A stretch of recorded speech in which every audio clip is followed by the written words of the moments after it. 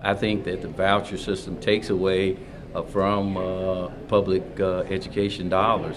And so uh, until the details come out of what Governor Haslam is proposing, uh, I'm a reserved comment. But certainly in the past, I've never supported the uh, voucher system or voucher programs, either in other states or, or nationally. So, so I'm waiting for the details obviously some parents uh, you know a lot of people are into the parental choice aspect of it. It's they you know it's, it's not like they probably would have any shortage of people signing up for the program. Uh, is it you just in principle oppose it? I mean i guess what do you say to the you know to the parental choice aspect? Those who say that giving choice is, is actually well, pretty important. well i think that anytime that you demise the number of students and the demise the number of dollars uh, from a school uh, in a particular area uh, you're going to raise the cost uh, in for that school system, and who's going to bear the cost of those vouchers? It's going to be the local uh, uh school system, uh,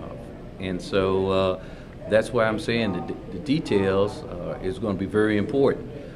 where are those costs going to go and who's going to pay those costs? If the state is going to implement a selective voucher system for high-risk students in low-performing schools but yet keep that school held harmless as far as losing uh, those basic dollars, uh, possibly uh, could look at that.